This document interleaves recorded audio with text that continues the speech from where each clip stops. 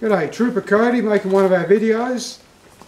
One of our Western videos that was really complicated. It, it really had to be made into three. Pressure's really on. I'm just uh, mopping his brow here because it's been a hell of a job under these floodlights and cast and crew standing around and stay, take it easy mate, take it easy, she'll be right. right. So what we're going to talk about is another one of the aspects of the Western movies and have you seen John Wayne in Red River? 1950. That movie was made 1950. Red River. Brilliant, brilliant John Wayne classic. So what happened is that 1958, a guy called Charles Warren, he's involved in making a movie about a cattle drive. So this is Cattle Empire of 1958. Very successful movie, a lot of critical acclaim, and it's all about this massive cattle drive, similar to what John Wayne's movie was about. So what had happened with these two movies, these two cowboy movies, is that there'd been a new invention in town. There was a new invention in town. So that new invention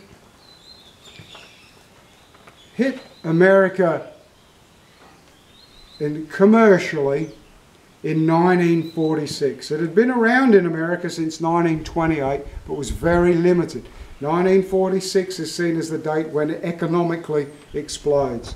In the UK, it was a little while after, but still 1946 when you got a couple of channels. I'll let the cat out of the bag. The invention's television, and yes, September of 1956, 10 years later, Australia gets television.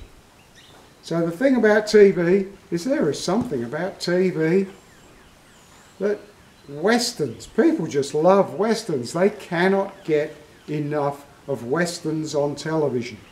By 1949, only three years after TV has been introduced in America, we've got a couple of programs that are off the chart with ratings. And they are Hopalong Cassidy and The Lone Ranger. These two shows, not sure when Clayton Moore was in The Lone Ranger, but these two shows are showing dominance over other programming and so the studios start to think westerns are the way to go and they start pumping out various westerns. They call the golden age of the Western. They say that that was started in 1955 and that is the year that, the, that Clint Walker, Cheyenne, Gunsmoke first started, the life and times of Wyatt Earp. There's so many shows, if you're a boomer, that these will really hit home to you. To be a boomer, you were born between 1946 and 1964. And I know people of my age, we all grew up just loving westerns. By 1958, there were 33 different western series showing on American television. 33 different ones. This had resulted in hundreds and hundreds of items of merchandising. You just can't name it all. Cups, mugs, spoons, games, lunch pails, hats, clothing, t-shirt, pyjamas, bed sheets. It's massive. What had happened is that NBC hit the nail on the head with a show on a Wednesday night I don't know why this was in America, but Wednesday night was prime time American TV, and they'd hit the nail on the head with a show that basically said, you other channels, you might as well just shut down for the night because you cannot compete with this show. And that show was Wagon Train. It was so enormously successful that CBS were panic stricken trying to work out how they could possibly come up with something to beat Wagon Train. Now, this is why I mentioned Charles Warren and his movie Cattle Empire of 1958 and John Wayne with Red River because some CBS exec says, how about we make a western about a cattle drive and we're not going to film it in a studio. We're not going to film it at Iverson Ranch or any of those Hollywood dude ranches. We are going to find locations out in the boonies, in the fair income country, and that's where we're going to film this show about a cattle drive. Okay, that's a great idea. Charles Warren comes on board. He's going to direct it. It all seems really great. It seems like a great idea. How could it possibly fail? Okay, we're going to pick an up-and-coming fabulous actor and he's going to be the star of the show and then we'll fill some other characters. So they say, yes, they all agree. So everybody is agreed that they are going to use this fabulous up-and-coming actor who can't go wrong and will make the show a hit. And you know who that actor is, don't you? Yes, you... No, you don't! Well, some of you might have got it, because I'm sure some of you were going to say Clint Eastwood, or you did say Clint Eastwood. But no, we are actually talking about Eric Fleming. Eric Fleming was supposed to be the star of the show. He was supposed to be the oh, I don't know what. So Eric Fleming was supposed to be the star standout of the show, and the rest of the show would have other actors, bit actors, some of whom Charles Warren brought from Cattle Empire movie. He brought them across because it had worked in the movie. They were going to be in the show. Everything looks like it's going to be a dream. But hang on, we better we better get a couple of other people in the role.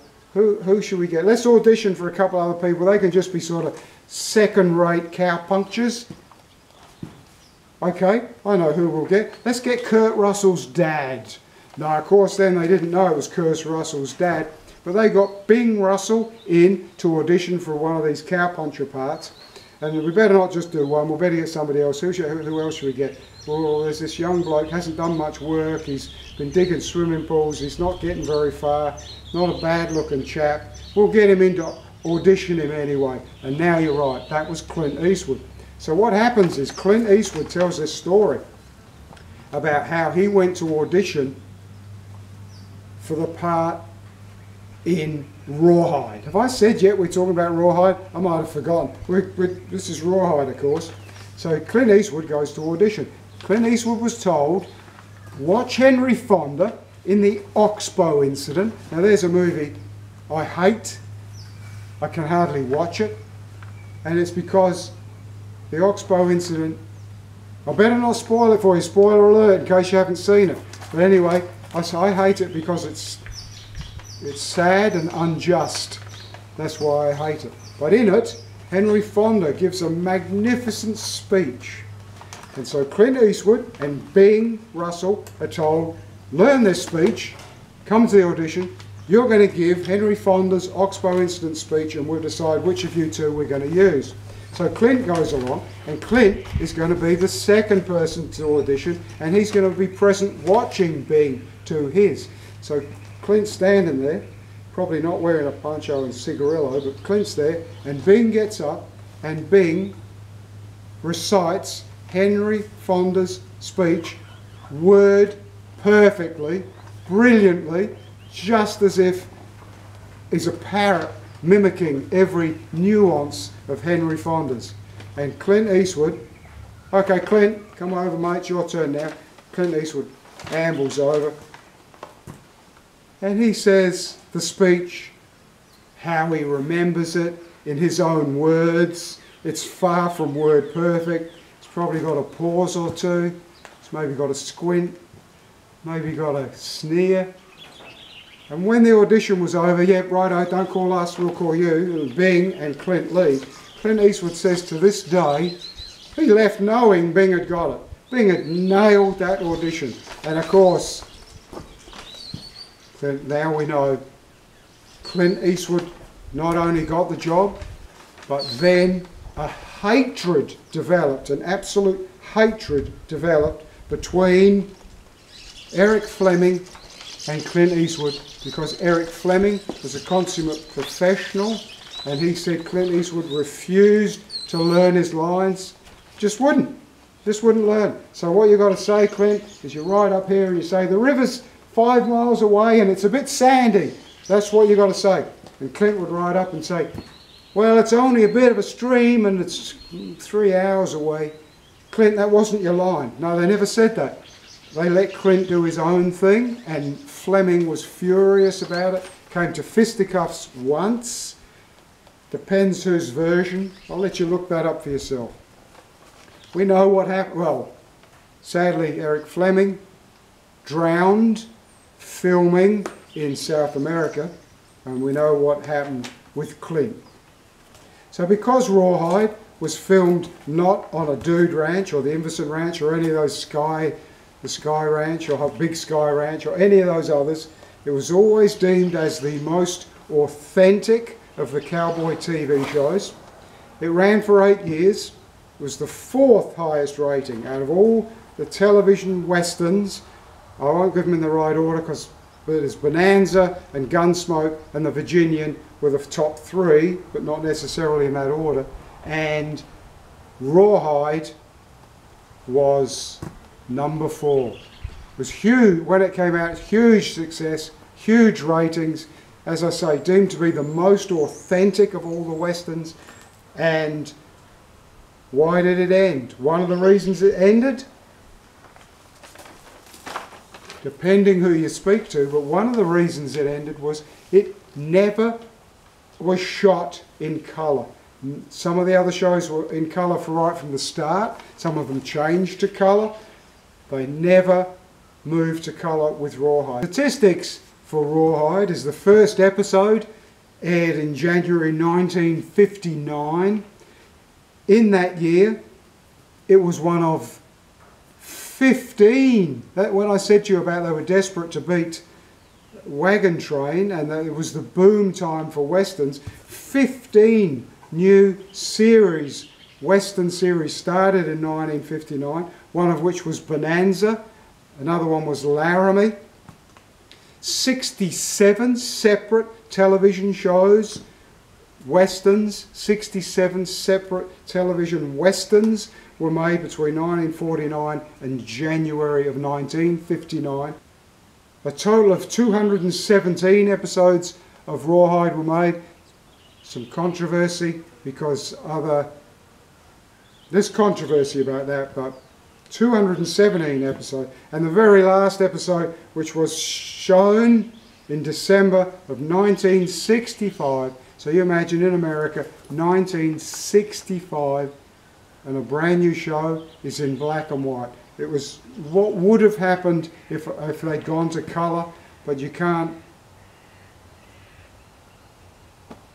There's much more to this than politics and black and white. It's a long story. It's what I said about why this is actually three separate videos. So what really we wanted to cover here though was rawhide. And the thing about rawhide I, I better not break into song, had I? Should I? Should I do a Blues Brothers? Rolling, rolling, rolling. Don't want to wake him up. So, another thing about Rawhide. Have you heard of Raymond St. Jacques? Jacques, Raymond St. I'm not sure how that was pronounced in America, but Raymond St. Jacques was a black actor and he went into the official record books of being the very first black actor to have a role as a regular in a TV show at all, and that was in the Western Rawhide. So that was Raymond St. Jacques. Now it depends what your well, it just depends on what you think about these things because some people are going to say to you, having told you who that, that having told you that Raymond St. Jacques, who played Simon Blake, a drover in Rawhide, was the first black actor to get a, a, a recurring role in a television show, any television show. This was September of 1965. You might hear people say, no, no, no, no, no, it's Bill Crosby Bill Cosby, Cosby in I Spy. Do you remember I Spy with Robert Culp? I loved that show as a kid. But actually, what really happened is the episode of Rawhide that was shown one night before the very first episode of I Spy. So it was Rawhide that had the first permanent black actor in it. When later the studio were asked if they did this through any sort of pressure from other groups about hiring a black actor, the studio said they didn't do it through any pressure. They did it because it was sociologically opportune, meaning they did it because it was going to make ratings, it was going to make money, it was going to help advertising, and that's the only reason they did it. So there you go, some background on a classic TV show, Rawhide, Clint Eastwood's role in it, some trivia and side facts on a great, great TV show.